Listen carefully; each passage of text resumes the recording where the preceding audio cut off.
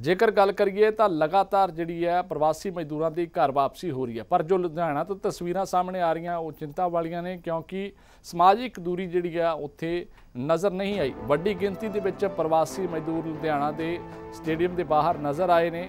ਔਰ ਦੂਰੀ ਜਿਹੜੀ ਹੈ ਇੱਕ ਦੂਸਰੇ ਤੋਂ ਬਣਾ ਕੇ ਨਹੀਂ ਰੱਖੀ ਹੋਈ ਸੀ, ਕਿਉਂਕਿ ਦੌੜ ਲੱਗੀ ਹੋਈ ਹੈ ਕਿ ਆਪਣੇ ਸੂਬੇ ਨੂੰ ਵਾਪਸ ਜਾਣਾ ਹੈ, ਆਪਣੇ ਘਰ ਨੂੰ ਵਾਪਸ ਜਾਣਾ ਹੈ, ਜਿਸ ਦੇ ਲਈ ਵੱਡੀ ਗਿਣਤੀ ਦੇ ਵਿੱਚ ਪ੍ਰਵਾਸੀ ਮਜ਼ਦੂਰ ਜਿਹੜੇ ਆ ਇਕੱਠੇ ਹੁੰਦੇ ਆ, ਜਿਸ ਜਗ੍ਹਾ ਦੇ ਉੱਤੇ ਸਕਰੀਨਿੰਗ ਕੀਤੀ ਜਾਣੀ ਹੈ ਜਾਂ ਫਿਰ ਜਿੱਥੋਂ ਟ੍ਰੇਨਾਂ ਚੱਲਣੀਆਂ ਉਸ ਜਗ੍ਹਾ ਦੇ ਉੱਤੇ। ਔਰ ਹੁਣ ਲੁਧਿਆਣਾ ਦੇ ਵਿੱਚੋਂ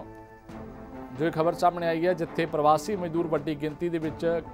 ਇਕੱਠੇ ਹੋਏ ਔਰ ਨਾ ਤਾਂ ਉੱਥੇ ਸਮਾਜਿਕ ਦੂਰੀ ਸੀ ਔਰ ਨਾ ਹੀ ਹੋਰ ਹਦਾਇਤਾਂ ਜਿਹੜੀਆਂ ਉਹਨਾਂ ਦਾ ਪਾਲਣ ਕੀਤਾ ਜਾ ਰਿਹਾ ਸੀ। ਘਰ ਵਾਪਸੀ ਦੀ ਤਾਂਗ ਜਿਹੜੀ ਆ ਉਹ ਭਾਰੂ ਪੈਂਦੀ ਹੋਈ ਨਜ਼ਰ ਆ ਰਹੀ ਹੈ ਸਮਾਜਿਕ ਦੂਰੀ ਤੇ ਸਰਕਾਰ ਦੀਆਂ ਹਦਾਇਤਾਂ ਤੇ। ਤਸਵੀਰਾਂ ਤੁਸੀਂ ਵੇਖ ਪਾ ਰਹੇ ਹੋ ਕਿਸ ਤਰ੍ਹਾਂ ਵੱਡੀ ਗਿਣਤੀ ਦੇ ਵਿੱਚ ਮਜ਼ਦੂਰ ਨਜ਼ਰ ਆ ਰਹੇ ਨੇ, ਵਾਪਸ ਜਾਣਾ ਚਾਹੁੰਦੇ ਨੇ ਆਪਣੇ ਸੂਬੇ ਨੂੰ, ਆਪਣੇ ਘਰ ਨੂੰ ਔਰ ਲਗਾਤਾਰ ਵੱਡੀ ਗਿਣਤੀ ਦੇ ਵਿੱਚ ਮਜ਼ਦੂਰ ਜਿਹੜੇ ਆ ਉਹ ਆਪਣੇ ਘਰਾਂ ਨੂੰ ਪਹੁੰਚੇ ਵੀ ਨਹੀਂ ਹਾਲਾਂਕਿ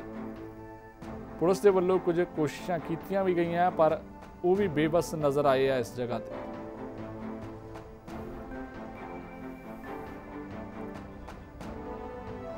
ਸਾਡੇ ਸਹਿਯੋਗੀ ਲੁਧਿਆਣਾ ਤੋਂ ਰਾਜਵਿੰਦਰ ਸਾਡੇ ਨਾਲ ਜੁੜੇ ਆ। ਰਾਜਵਿੰਦਰ,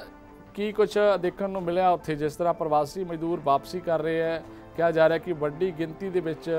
ਮਜ਼ਦੂਰ ਜਿਹੜੇ ਆ ਉੱਥੇ ਜੁੜੇ ਸੀ। ਔਰ ਕੀ ਕੁਝ ਵੇਖਣ ਨੂੰ ਮਿਲਿਆ ਉੱਥੇ? ਜੀ, ਬਿਲਕੁਲ ਜਿਹੜੀਆਂ ਤਸਵੀਰਾਂ ਲੁਧਿਆਣਾ ਗੁਰੂ ਨਾਨਕ ਸਟੇਡੀਅਮ ਦੇ ਬਾਹਰ ਦੀਆਂ ਨੇ, ਤੇ ਤੁਹਾਨੂੰ ਦੱਸ ਦਈਏ, ਇੱਥੇ ਪਹਿਲਾਂ ਵੀ ਜਿਹੜਾ ਸਟੇਡੀਅਮ ਦੇ ਬਾਹਰ ਜਿਹੜਾ ਮਜ਼ਦੂਰਾਂ ਨੂੰ ਲਿਆਇਆ ਜਾਂਦਾ ਹੈ ਇੱਥੇ ਵੱਡੀ ਤਾਦਾਦ ਦੇ ਵਿੱਚ ਮਜ਼ਦੂਰ ਅੱਜ ਵੀ ਦੇਖਣ ਨੂੰ ਮਿਲੇ ਨੇ। ਇੱਥੇ ਉਹਨਾਂ ਦੀ ਟੈਸਟਿੰਗ ਵਗੈਰਾ ਕਰਕੇ ਇਹਨਾਂ ਨੂੰ ਟ੍ਰੇਨਾਂ ਤੱਕ ਪਹੁੰਚਾਇਆ ਜਾਂਦਾ ਹੈ, ਤੇ ਅੱਗੇ ਜਿਹੜੇ ਨੇ ਪ੍ਰਵਾਸੀ ਮਜ਼ਦੂਰ ਆਪਣੇ ਗਾঁਵ ਨੂੰ ਜਾਂਦੇ ਨੇ, ਵਾਪਸ ਆਪਣੇ ਪ੍ਰਦੇਸ਼ ਨੂੰ ਜਾਂਦੇ ਨੇ। ਤੇ ਦੱਸ ਦਈਏ, ਅੱਜ ਜਦੋਂ ਲੁਧਿਆਣਾ ਦੇ ਵਿੱਚ ਇਹਨਾਂ ਦੀ ਜਿਹੜੀ ਟ੍ਰੇਨਾਂ ਨੇ 6 ਟ੍ਰੇਨਾਂ ਤਕਰੀਬਨ ਤਕਰੀਬਨ ਲੁਧਿਆਣਾ ਤੋਂ ਜਾਣ ਦੀ ਜਿਹੜੀ ਅੱਜ ਹੈ ਤੇਜ਼ੀ ਤੇ ਜਿਹਦੇ ਜਿਹੜੇ ਵੱਡੀ ਗਿਣਤੀ ਵਿੱਚ ਪ੍ਰਵਾਸੀ ਮਜ਼ਦੂਰ ਇੱਥੇ ਇਕੱਠੇ ਹੋ ਗਏ, ਜਿਨ੍ਹਾਂ ਦੀਆਂ ਟ੍ਰੇਨਾਂ ਸ਼ਾਮ ਨੂੰ ਸੀਗੀਆਂ, ਉਹ ਵੀ ਹੁਣ ਜਾ ਰਹੇ ਨੇ, ਉੱਥੇ ਪਹੁੰਚ ਗਏ ਨੇ, ਆਪਣੀ ਸਕਰੀਨਿੰਗ ਕਰਾਉਣ ਵਾਸਤੇ, ਆਪਣਾ ਮੈਡੀਕਲ ਕਰਵਾਉਣ ਵਾਸਤੇ ਜਿਹੜੇ ਨੇ ਪ੍ਰਵਾਸੀ ਮਜ਼ਦੂਰ ਲੁਧਿਆਣਾ ਦੇ ਵਿੱਚ ਇਕੱਠੇ ਹੋਣੇ ਸ਼ੁਰੂ ਹੋ ਗਏ ਨੇ। ਬੇਸ਼ੱਕ ਭਾਰੀ ਗਿਣਤੀ ਵਿੱਚ ਪੁਲਿਸ ਵਾਲ ਉੱਥੇ ਮੌਜੂਦ ਹੈ, ਪਰ ਸੋਸ਼ਲ ਡਿਸਟੈਂਸ ਦੀਆਂ ਜਿਹੜੀਆਂ ਧੱਜੀਆਂ, ਉੱਡੀਆਂ ਸਾਫ਼ ਨਜ਼ਰ ਆ ਰਹੀਆਂ ਨੇ, ਕਿਤੇ ਨਾ ਕਿਤੇ ਮਜ਼ਦੂਰਾਂ ਵੱਲੋਂ ਘਰ ਵਾਪਸੀ ਨੂੰ ਲੈ ਕੇ ਉਤਸ਼ਾਹ ਹੈ, ਪਰ ਇਹਦੇ ਚੱਕਰ ਦੇ ਵਿੱਚ ਉਹ ਆਪਣੀ ਜਿਹੜੀ ਹੈ ਨਿਯਮਾਂ ਨੂੰ ਤੋੜਦੇ ਨਜ਼ਰ ਆ ਰਹੇ ਨੇ ਸੋਸ਼ਲ ਡਿਸਟੈਂਸ ਦੀਆਂ ਜਿਹੜੀਆਂ ਧੱਜੀਆਂ ਉਡਾਉਂਦੇ ਨਜ਼ਰ ਆ ਰਹੇ ਨੇ, ਜੀ। ਜੀ, ਰਾਜਵਿੰਦਰ, ਜਿਸ ਤਰ੍ਹਾਂ ਤੁਸੀਂ ਕਿਹਾ ਕਿ ਇਹ ਲੋਕ ਜਿਹੜੇ ਆ, ਇਹਨਾਂ ਦੇ ਲਈ ਟ੍ਰੇਨਾਂ ਚੱਲ ਰਹੀਆਂ ਔਰ ਵਾਪਸ ਜਾਣਾ ਚਾਹੁੰਦੇ ਨੇ, ਕਿ ਇਹਨਾਂ ਨੂੰ ਕੋਈ ਸਮਾਂ ਨਹੀਂ ਦੱਸਿਆ ਗਿਆ ਕਿ ਇਸ ਸਮੇਂ ਦੇ ਉੱਤੇ ਹੀ ਆ ਕੇ ਆਪਣੀ ਸਕਰੀਨਿੰਗ ਇਹਨਾਂ ਨੇ ਕਰਾਉਣੀ ਹੈ ਜਾਂ ਫਿਰ ਜਿਸ ਹਿਸਾਬ ਦੇ ਨਾਲ ਟ੍ਰੇਨ ਰਵਾਨਾ ਹੋਣੀ ਹੈ ਉਸ ਹਿਸਾਬ ਦੇ ਨਾਲ ਸਮੇਂ ਦੇ ਮੁਤਾਬਕ ਇਹ ਪਹੁੰਚਣ। ਇਕੱਠੇ ਹੀ ਇਹ ਇੱਕ ਜਗ੍ਹਾ ਦੇ ਉੱਤੇ ਨਜ਼ਰ ਆਉਂਦੇ ਆ।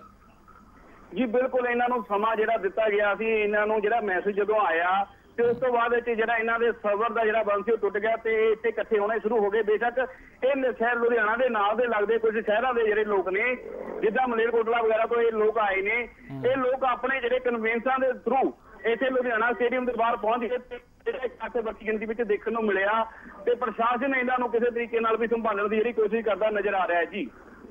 ਜੀ ਰਾਜਵਿੰਦਰ तमाम ਜਾਣਕਾਰੀ ਦੇ ਲਈ ਅ, ਧੰਨਵਾਦ ਸੋ ਵੱਡੀ ਗਿਣਤੀ 'ਚ ਪ੍ਰਵਾਸੀ ਮਜ਼ਦੂਰ ਜਿਹੜੇ ਆ ਪਲਾਨ ਕਰ ਰਹੇ ਆ ਆਪਣੇ ਸੂਬੇ ਦੇ ਵੱਲ ਆਪਣੇ ਘਰਾਂ ਦੇ ਵੱਲ ਔਰ ਹਾਲਾਂਕਿ ਕੋਸ਼ਿਸ਼ਾਂ ਪ੍ਰਸ਼ਾਸਨ ਕਰਦਾ ਹੋਇਆ ਨਜ਼ਰ ਆ ਰਿਹਾ ਪਰ ਇਹ ਤਸਵੀਰਾਂ ਜਿਹੜੀਆਂ ਸਾਹਮਣੇ ਵੀ ਆ ਜਾਂਦੀਆਂ ਜਿਸ ਕਰਕੇ ਕਾਫੀ ਜਿਹੜੀਆਂ ਉਹ ਦਿੱਕਤਾਂ ਵੀ ਖੜੀਆਂ ਹੋ ਰਹੀਆਂ ਲੋਕਾਂ ਦੇ ਲਈ ਪ੍ਰਸ਼ਾਸਨ ਦੇ ਲਈ